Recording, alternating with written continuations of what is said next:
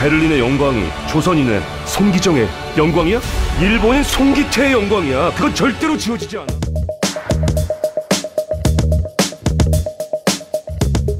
저희가 원하는 것은 조국의 국기가 달린 유니폼을 입고 그저 달리는 것입니다. 선생님 저 뛰고 싶어요.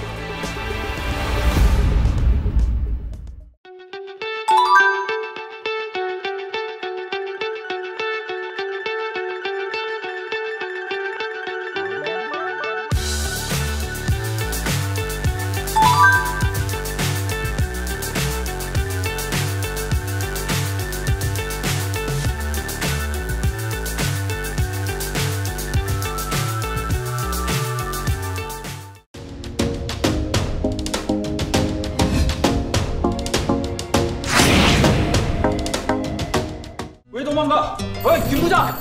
걸장이 나올 것 같았죠. 걸작을 왜 만들어요? 그냥 하던 거 하세요. 이걸 어떻게 하루에 다 찍어?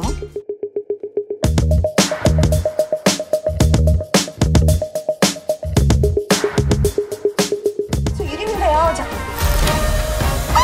세트장을 폐쇄시켜. 김 감독 현장은 막장의 콩가루.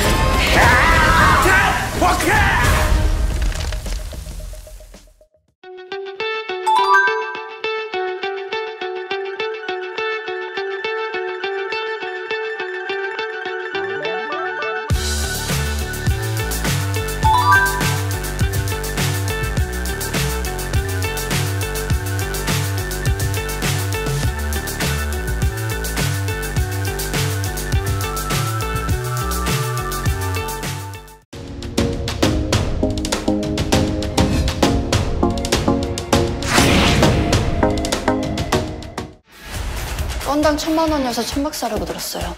강도래는 어떻게 해요? 뭐야 너?